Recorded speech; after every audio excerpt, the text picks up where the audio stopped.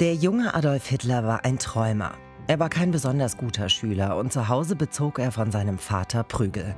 Auf Druck reagierte er oft trotzig und jähzornig. Der Heranwachsende flüchtete sich in Fantasiewelten, etwa in die Geschichten Karl Mays.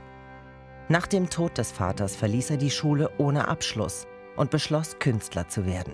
Er bewarb sich an der Akademie der Bildenden Künste in Wien und scheiterte zweimal.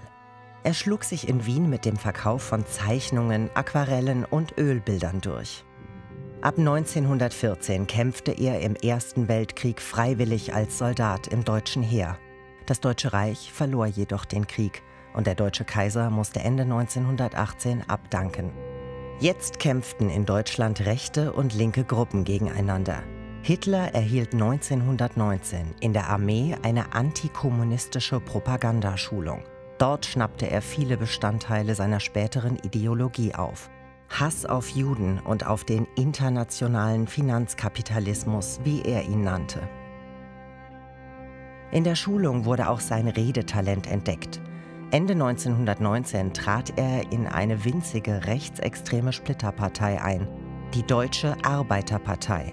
Im Februar 1920 wurde sie umbenannt in Nationalsozialistische Deutsche Arbeiterpartei kurz NSDAP.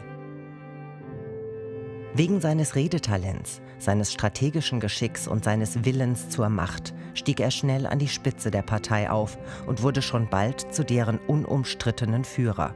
1933 übernahm er die Macht in Deutschland mit verheerenden Folgen.